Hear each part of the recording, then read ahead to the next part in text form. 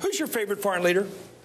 Who's my favorite? Any, just name anywhere in the country, any one of the continents, any country. Name one foreign leader that you respect and look up to. Anybody. Mine was Shimon Peres. No, no, okay, now, I'm talking about living. Go ahead.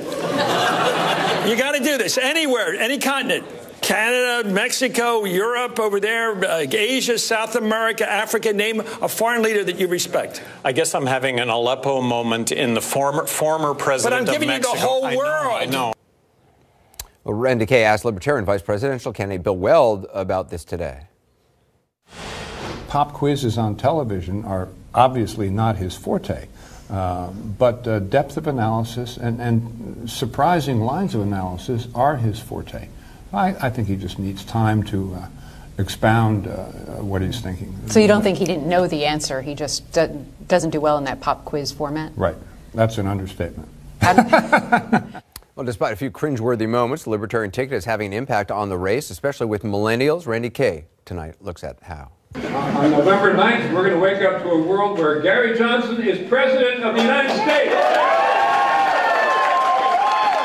Former Massachusetts Governor Bill Weld trying to round up votes from millennials at Temple University in Philadelphia. Votes that polls show might otherwise go to Hillary Clinton more than Donald Trump. Does it mm-hmm. concern you, though, that your ticket could tilt the election and, and hand him, hand Well, Donald Trump the presidency? That, that's, you know, that's a conjecture. That's a hypothetical, and I don't worry about hypotheticals. You know, I would do the best I Hypotheticals, perhaps, but recent polling from Bloomberg about millennials gives Hillary Clinton just a four point lead over Donald Trump in a four way race. In that same poll, the Johnson Weld ticket gets 11% of the vote.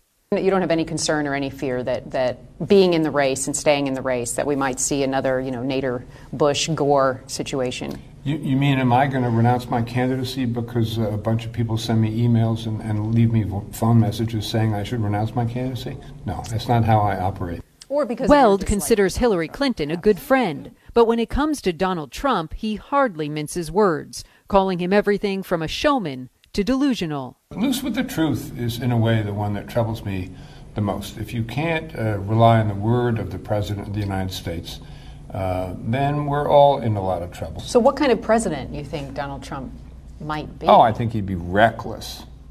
He'd be impossible to predict. Uh, you know, he like a broken clock. He would be right twice a day, but that's about it.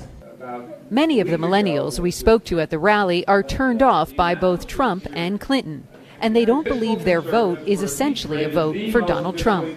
I think that's completely inaccurate. It's a vote for Gary Johnson. I'm going to vote for someone that I believe in. What don't you like about Hillary Clinton?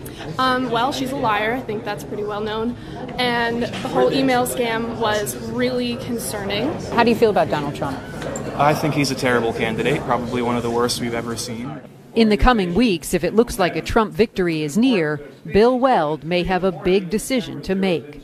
Could you set the record straight and, and tell me whether or not you would consider dropping out before the election, uh, before election day, if it looks like your ticket could help hand Donald Trump a victory? I think it's doubtful. It's a hypothetical. Uh, let's see how the debates play out. You know, there, there's some water between here and there, and I've given my word uh, to a lot of people, including Gary Johnson, that we're going to uh, give this our best shot at running the table and taking the whole thing.